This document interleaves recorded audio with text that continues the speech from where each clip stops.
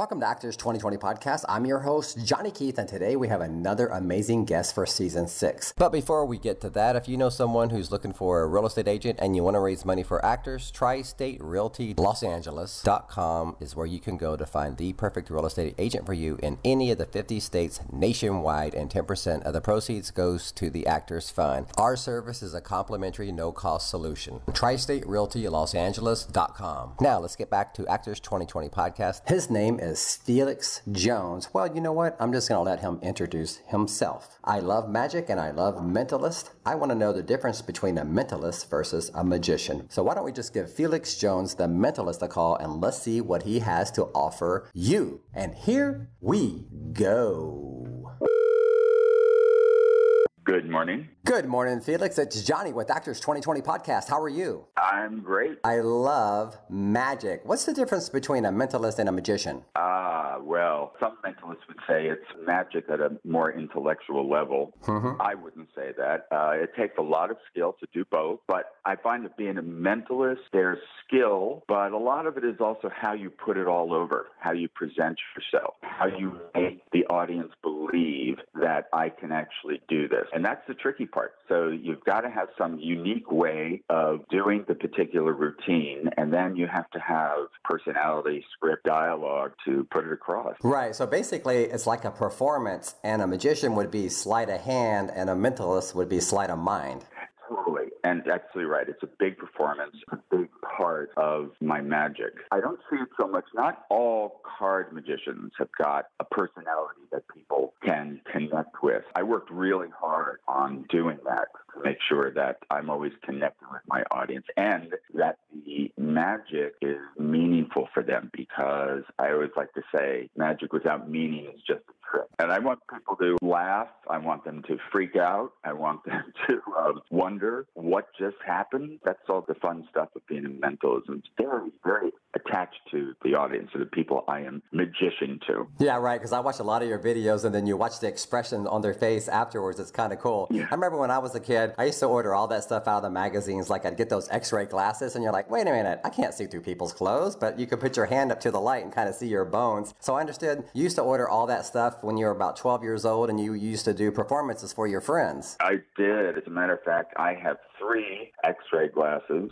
um, not my original one, but I use a pair in my act where I am seen into a person's mind.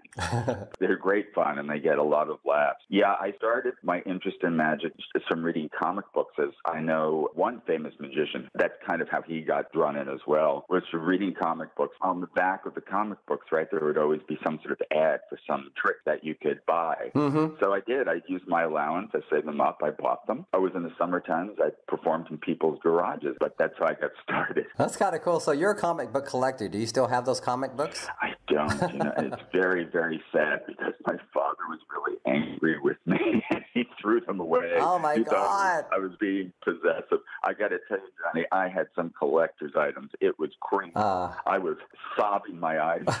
especially when you see how much they go for today, and like the ones that are in mint condition. Oh my God! I know. All right, so you're 12 years old and you get the lead in a play called Hoodoo, and it's a magician. Hoodoo the Magician. Yeah. Yeah. it was fun. I was with my best friend at the time. He was in the play as well. If I remember the plot correctly, I was a shyster magician. I was just scamming people. What happens to Hoodoo that he has a change and he actually does magic at the very end of the play, shocking himself, and he, you know, reforms his wicked ways. That was like a double whammy because you got to be an actor and you got to be a magician. And then it seemed like you put the magician kind of thing on the side and you started focusing on your theater arts where you're like a playwright, a producer, an artistic director. What does an artistic director actually do? Oh wow. Runs a company full of crazy actors. so I That's funny. So I did all of the planning of the season, produced most of the production that the company did, made sure that the financial books balanced. I, I think I can sum you up in five words martinis and the magic castle. What makes you think that, Johnny? Huh?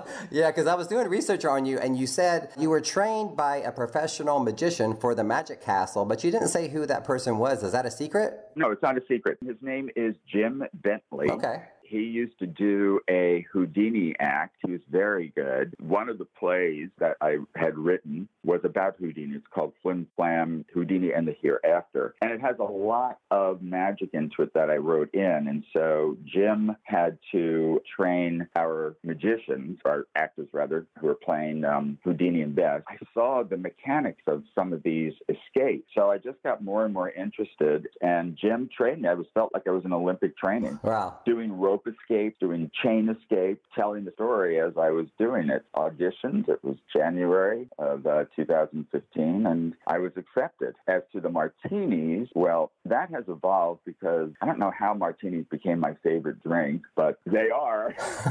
and so I just, in the act, as I perform, the martini is most of the time in hand. Right. I've been to Magic Castle many, many times. I love that place. If you haven't been there, it is amazing. So is the Magic Castle back now? Are you going to be performing there in the future? I will be performing there in the future um, because right before they closed down because of the pandemic, the director of entertainment, who's a, worked so hard and is a wonderful person, he, as he would say, you are not canceled, you are postponed. That's pretty good. You're out there, you're doing like live performances, you're doing corporate events, private parties, weddings, and all of a sudden it gets all shut down, but you honed your act to do that on Zoom. How did you do that? That was a lot of hard work. Uh, really, that was so much work to do magic on Zoom uh, because there's no audience. A mentalist needs an audience to respond to.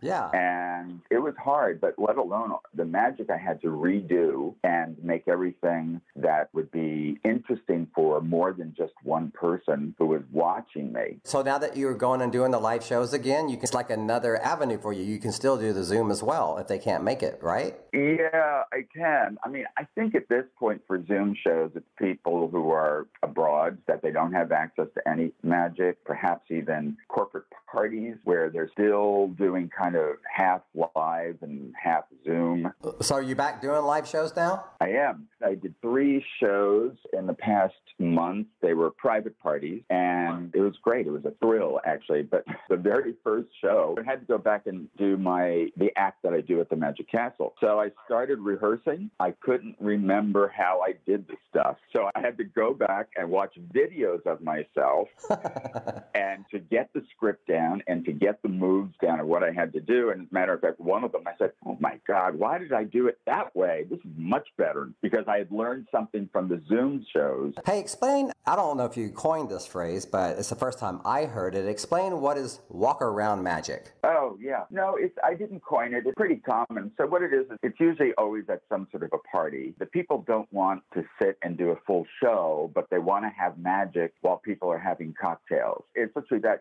I go up to say three, four, five people, and I do a series of tricks, usually three or four. Then I move on to the next group of people. Hey, has anyone ever told you you resemble uh, Hugh Hefner a little bit? I used to work at the Playboy Mansion, and you look like Hugh Hefner a little bit. Oh my God, no, no one has ever told me that. Uh, well, because Hef would dress nice, and uh, you always dress nice. You always suit, nice tux. I like that. You look great in a suit. Thank you. Um, so when someone hires you for an event or a party, it's all different kind of themes. So how do you customize your magic for that specific event? There are a few routines that I do that I can put in some words or whatever that are important for the party. That's all adaptable. Now, on a couple of the videos I watch, it's like somebody will be thinking something, or they'll draw it, and then you draw it, and then it's a match. It seems like you're actually reading someone's mind. I guess there's a trick to it, but it's amazing. Yes, there's a certain skill to it. I certainly work hard at having people believe that I am reading their mind. And the way to do that is to give evidence. And when they have the evidence, they freak out. One particular trick that I do a lot for my walk around magic is having someone draw something on the back of my business card, put it in an envelope, and then I reproduce it. And then when we do the reveal, every single time, people stand back and, whoa! yeah, that one with the Golden Gate Bridge. And she drew it, and bam, you turned yours over. Oh, and it was yeah. the same one. I was like, how the heck does he do that? it's pretty good. That's one of my favorite to do, and I stopped performing because I can't do it on Zoom. So the three amigos, Felix, Simone, and Chris. It's called the Orpheum Circuit Tour. What is that? So it's a show that I created and produced. Said I've worked with Simone before. She and I will be doing our act again at the Peller Theater in the Magic Castle when it's fully reopened. And Chris and I did a couple of Zoom shows. And so I came up to this idea of the three of us working together because we all have really good chemistry when we're working together to do this Zoom show. And Orpheum Circuit was the really famous Orpheum theaters during vaudeville that performers would go from city to city working in the Orpheum theater. So we wanted to do like a little throwback and something interesting to that, where we say that we're doing homage to those great performers of vaudeville. So it's just the show, the Zoom show. Just on your website, I'm looking like you do weddings, private parties, corporate events, the Zoom virtual shows, and stage and parlor shows. And I know you don't work with kids like under 12, but is there anything else that you wouldn't do that you would turn down that, like, no, that's not for me? Uh, juggling. that's pretty good. no, actually, there isn't. And the thing with kids, I've performed many, many, many times where there were younger kids. And the only reason I say not under 12 is just because there's, there's all the cocktails. Some parents might be uneasy about that. It's all visual. So you need to put that martini into a sippy cup. So, well, you know, Noel Coward used to say gin is like mother's milk. I was looking at your contract. You're like all business. I've never seen any magician who has an actual insurance policy. That's kind of cool because I have an S corporation and I have to have a general liability uh, insurance. But a magician, I mean, it's like you actually have insurance. it's pretty cool. Yeah, because most corporations, when you're working for a company and doing a party, I believe almost all of them want you to have insurance if I fall down or something. So reading your contract, it's like you get 50% of the money up front. Have you ever went and done an event or have you ever been stiffed where they just like, hey, we're not paying? No, never. Currently, today, what else do you do besides magic? That's pretty much it.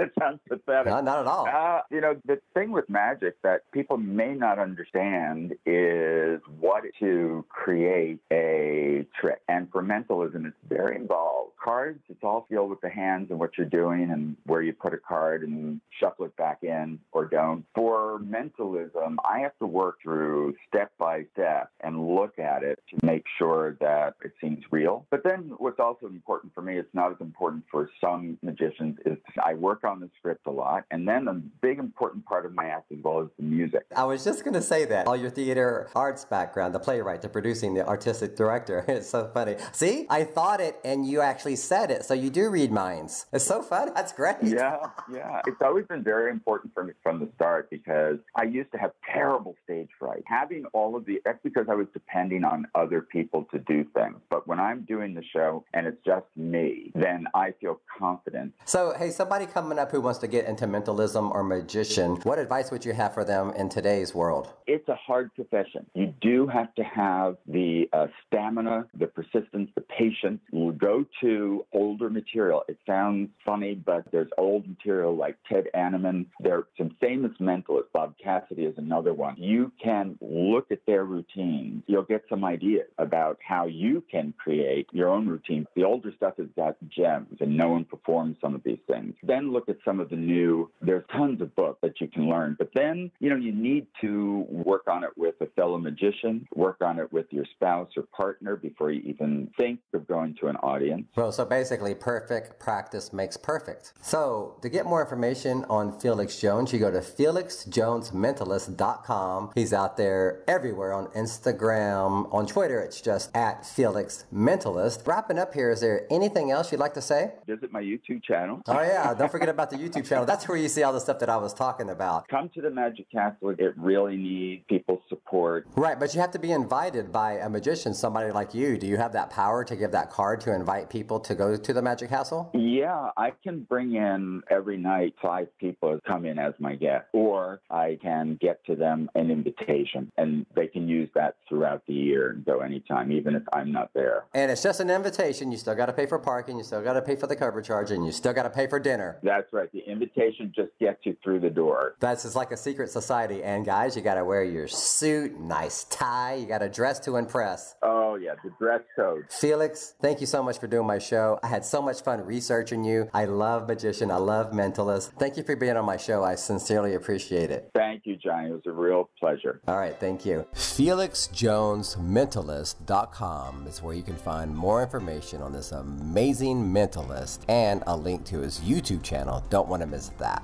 Please leave us a review on iTunes or the Internet Movie Database. Like, share, embed, and download. Don't forget about raising money for actors at tristaterealtylosangeles.com. That wraps up this episode of Actors 2020 podcast. I'm your host, Johnny Keith, and until the next episode, bye bye.